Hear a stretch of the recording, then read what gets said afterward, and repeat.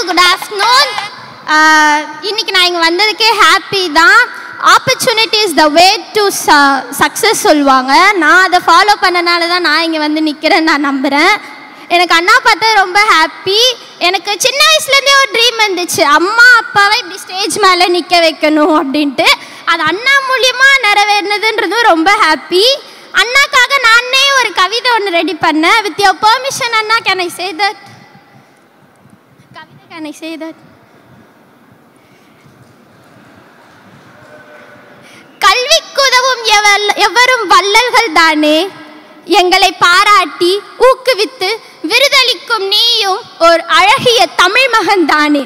பல கோடி ரசிகர்களின் மனதை வென்ற வசீகராவே. பல கோடி ரசிகர்களின் மனதை வென்ற வசீகராவே. நீ விதைத்த விதை இங்கு நாளை உன் விருட்சமாகுமே. நாங்கள் உன் வெற்றியாய் பார்க்கும் நல்ல குணமே நாங்கள் கண்ட வெற்றியை உன் வெற்றியாய் பார்க்கும் நல்ல குணமே. இந்த பாச செயலுக்கு கிடைக்கும் நாளைய தீர்ப்பே. உன் சர்க்கார் ஆட்டத்திற்கு இல்லை ஒரு முற்றுப்புள்ளி. எங்களின் நாளைய தலைவன் என்றும் நீ என்றென்றும் இந்த தந்தையின் தங்கையின் அண்ணனே நீ. நன்றி அண்ணா. தேங்க்ஸ் அண்ணா.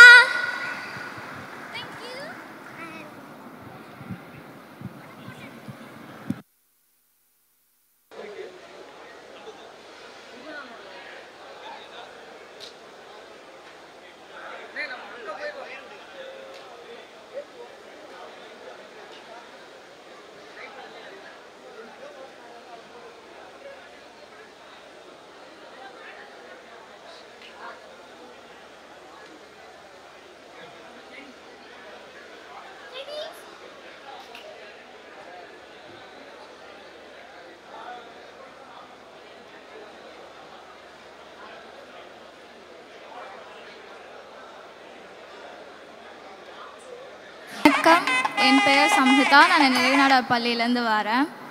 விஜய் அண்ணா கல்வி விருது வ நிகழ்வில் நான் பங்கேற்கிறதுல ரொம்ப ஹாப்பியாக இருக்கேன்.